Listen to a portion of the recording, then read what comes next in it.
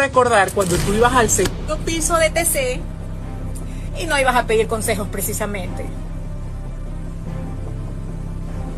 Mándamele saludos a Ricardo, a Toño, a Douglas, al cubano, a tu compañero, el que te llevaba allá con los representantes de futbolistas, al Hilton. Mándale saludos, porque parece que se te olvidó. Eres de memoria frágil. Te encanta señalar, pero te olvidas que otro dedo te señala a ti. Y yo sé que una cosa es que no me importe y otra cosa es que hay personas que ameritan que se les refresque la memoria. O pregúntale a Yulisa. ¿Por qué no hablaste hoy de lo de Yulisa? ¿Por qué no hablaste de lo que le hiciste? Del momento tan importante que ella tuvo y que por tu culpa, por meterte en esa relación, el padre de su hijo no estuvo en su parte. Siendo tu amiga y tu compañera. Porque una cosa es ser perra y otra cosa es ser perra y mala.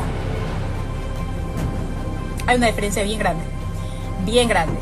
Así como en tu juventud tú habrás hecho todo lo que te dio la gana, todos en, nuestra juventud hicimos lo que nos dio la gana. Pero ¿sabes cuál es el problema? Que no me vengas a dar tú a mí lecciones de moral, pues hermano. No me vengas tú a dar a mí lecciones de moral, porque no la tienes. El hecho de que ahora te hayas unido a alguien porque no te has casado, como yo sí me casé, que mi matrimonio tuvo un tropiezo, pero lo, subimos, lo supimos sobrellevar y estamos bien, estamos felices, que creo que es lo que a muchos les arde. Quizás te molesta, te duele, te arde. Y ojo, por si acaso, para quienes piensan, ay, no, es que le sacó lo de la apretadita y no sé qué. ¿Quién empezó?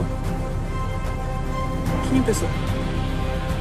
yo lo anoté, lo anoté porque obviamente... tiene ahí todo, como una agenda Pero por supuesto, lo que pasa es que no me alcanzaba el papel para escribir porque era demasiado los Ay, nombres. ¿a qué le suena Entonces, esto? espere, Andrea Duplá.